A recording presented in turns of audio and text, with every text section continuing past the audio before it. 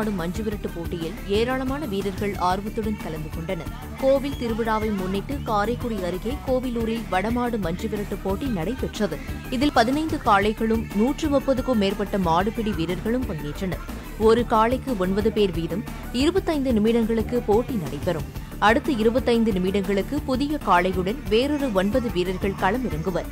விறுவிறுப்பாக நடைபெற்ற இந்த போட்டியில் மாடுபிடி வீரர்கள் தீரத்துடன் காளைகளை எதிர்கொண்டது பார்வையாளர்களை வெகுவாக கவர்ந்தது.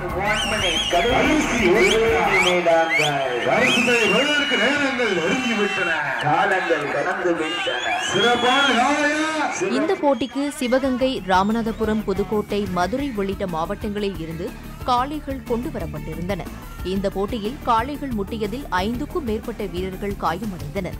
பிடிபடாத காளைகளின் உரிமையாளர்களுக்கும் காளைகளை அடக்கிய மாடுபிடி வீரர்களுக்கும் ரொக்க பரிசுகள் வழங்கப்பட்டன.